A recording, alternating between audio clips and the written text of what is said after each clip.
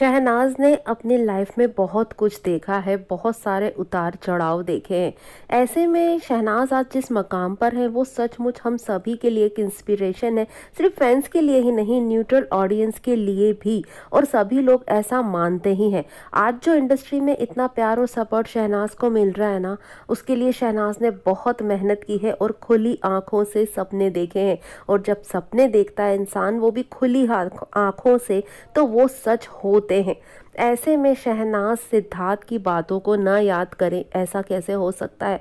कुछ शहनाज ने लिखा है, यंग शहनाज के लिए लिखा है। जब शहनाज बिग बॉस में थी, तब की बातों को याद किया है और फैंस के साथ उसे शेयर किया है। हम भी आपको वो सारी बातें बताने वाले हैं तो प्लीज़ वीडियो को एंड तक ज़रूर देखिए।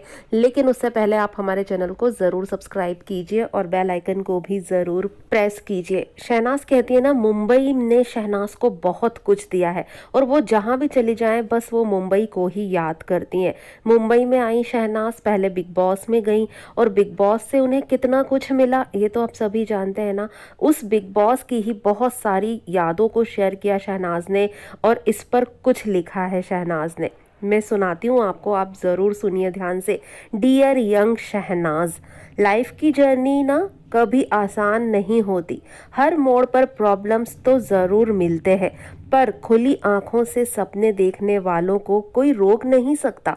कुछ भी हो जाए, तेरे सपने और तेरी मुस्कुराहट हर वक्त तेरा साथ देगी। तो चाहे जो भी हो जाए, अपना बचपना और अपने सपनों का साथ कभी मत छोड़ना। क्योंकि क्योंकि तेरे सपने बहुत जल्द पूरे होंगे और तू प्राउडली कहेगी I have come a long way जल्दी मिलेंगे हम। अभी के लिए मैं मेरी लाइफ की एक बहुत खूबसूरत चैप्टर को जी रही हूँ, जिसका नाम है thank you for coming Siya और इस पोस्ट को लाइक किया है एकता कपूर ने और इस मूवी की पूरी की पूरी टीम ने। और शहनाज ने जो भी बातें कही ना, आप एक बार फिर से जाकर इसे ज़रूर सुनिएगा या फिर हमारी वीडियो को रिपीट पे जाकर सुनिएगा। आपको बहुत सारे वर्ड्स ऐसे मिलेंगे जो आपको सिडनाज के मोमेंट्स की याद दिला देंगे।